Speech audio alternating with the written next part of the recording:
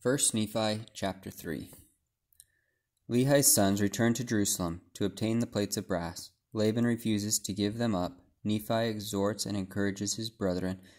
Laban steals their property and attempts to slay them. Laman and Lemuel smite Nephi and are reproved by an angel. And it came to pass that I, Nephi, returned from speaking with the Lord to the tent of my father.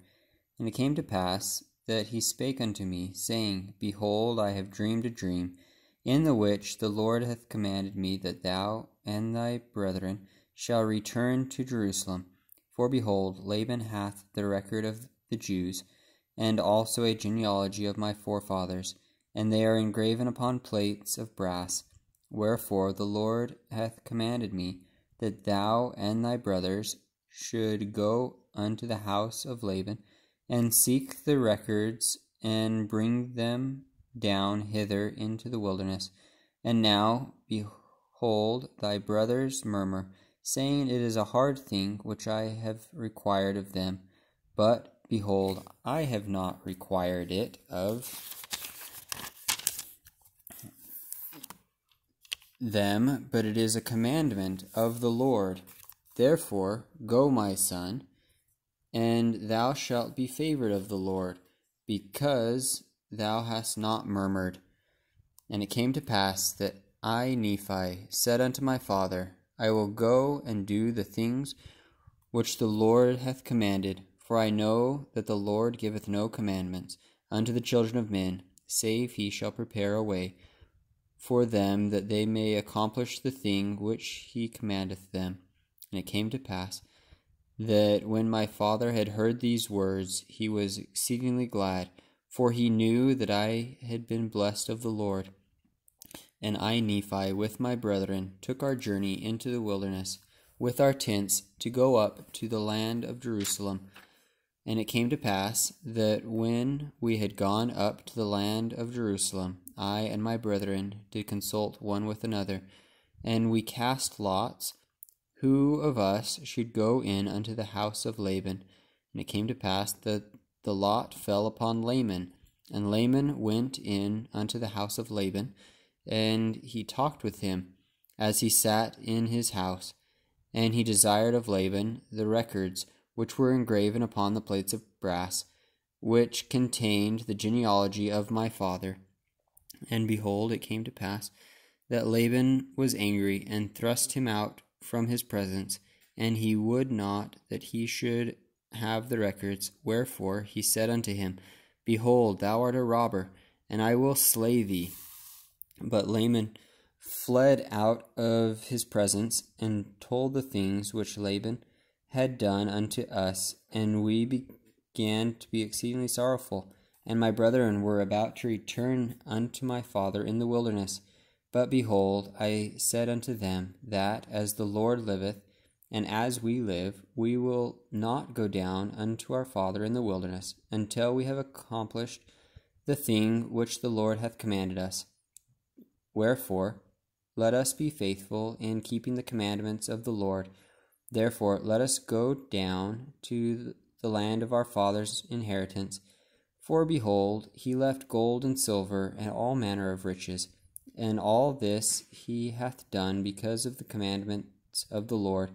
For he knew that Jerusalem must be destroyed because of the wickedness of the people. For behold, they have rejected the words of the prophets. Wherefore, if my father should dwell in the land, after he hath been commanded to flee out of the land, behold, he would also perish. Wherefore, it must needs be that he flee out of the land.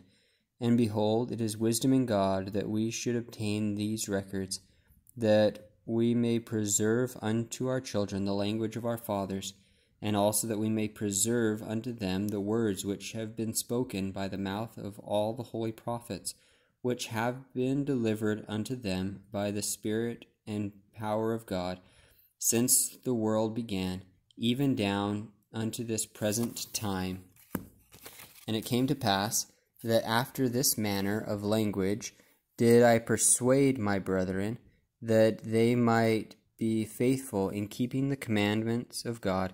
And it came to pass that we went down to the land of our inheritance. And we did gather together our gold and our silver and our precious things. and after we had gathered these things together, we went up again unto the house of Laban. And it came to pass that we went in unto Laban and desired him that he would give unto us the records which were engraven upon the plates of brass, for which we would give unto him our gold and our silver and all our precious things. And it came to pass that when Laban saw our property, and that it was exceedingly great, he did lust after it, insomuch that he thrust us out, and sent his servants to slay us, that he might obtain our property. And it came to pass that we did flee before the servants of Laban, and we were obliged to leave behind our property.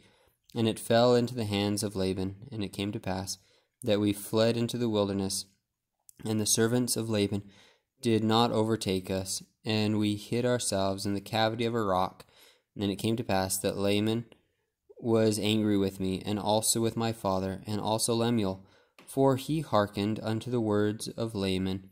Wherefore Laman and Lemuel did speak many hard words unto us, their younger brothers, and they did smite us even with a rod.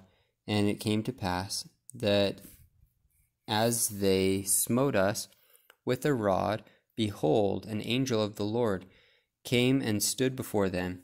And he spake unto them, saying, Why do ye smite your younger brother with a rod?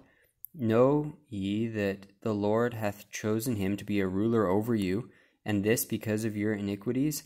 Behold, ye shall go up to Jerusalem again, and the Lord will deliver Laban into your hands. And after the angel had spoken unto us, he departed. And after the angel had departed, Laman and Lemuel again began to murmur, saying, How is it possible that the Lord will deliver Laban into our hands? Behold, he is a mighty man, and he can command fifty, yea, even he can slay fifty. Then why not us?